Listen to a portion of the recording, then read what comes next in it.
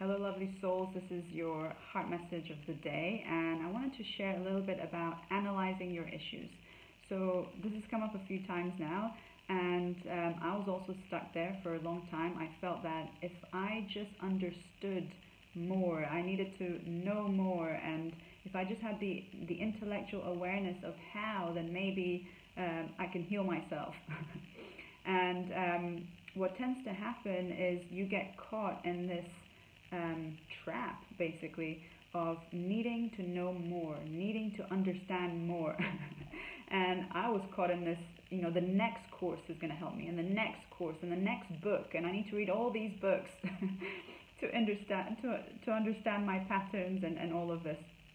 And you know, I understand that um, in the beginning you need to you start with an intellectual awareness of course and you have to have a certain amount of analysis in the beginning to understand where your patterns um, stem from. But there will come a point where that will not help you. Yes you can grow uh, you know in knowledge and intellectual knowledge uh, but in terms of breaking patterns emotionally um, you have to feel your emotions. You can't understand your way through your emotions or you know analyze your way through the emotion.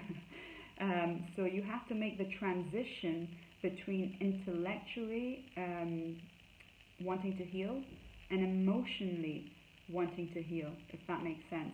And um, this whole, you know, analyzing your issues and needing to know more, this is just you avoiding your emotional pain. This is actually the flight response to trauma.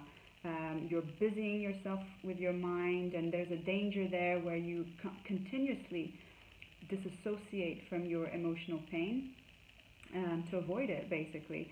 And what I see a lot is people, once they know a lot, um, they can. They're very good at talking their um, their way out of their pattern and, and why they don't have that anymore and they talk their way out of and justify their way out of the emotional wound um, rather than just feeling it and really going within and, and um, doing the emotional work. Um, so there will come a point where this whole analysis and knowing more is not going to help you in terms of breaking patterns and healing from the soul, basically, from a soul level.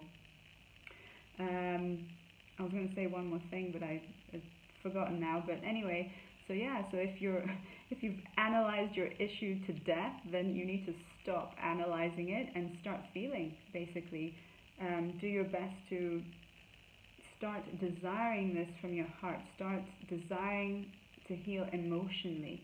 Um, I talked about this in the heart prayer video that I did a little while ago. But yeah, the process is emotional.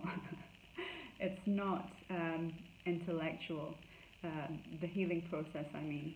Anyway, I hope that helps. Bye for now.